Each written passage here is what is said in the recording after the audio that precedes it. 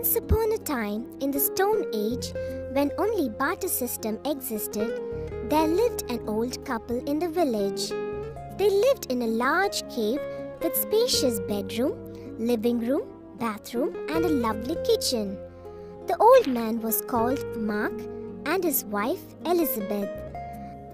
Mark was good sculptor and he made statues and idols for a living.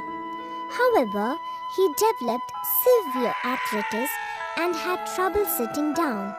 He carved comfortable chairs and placed them all over his house and several in his living room, since his friends used to come over for a drink once in a way. One day, during such a get together, the friends saw the chairs and found them very comfortable and each placed several orders to Mark for delivering to them. Mark suddenly became a busy man selling the carved stone chairs and received fruits, vegetables, clothes, kitchen utensils, etc. for barter. And Elizabeth was very happy. One day, Mark was having lunch when a friend came calling and he was looking for a place to put his plate down and found the head of a bust of the king with crown very convenient to put his plate upon. After attending to his friend and seeing him off, he came and retrieved his plate and idea struck him. The next day, he carved a nice table for four and adjusted the height to match his chairs. He found that having food sitting on the chair and the plate on the table looked cool and convenient.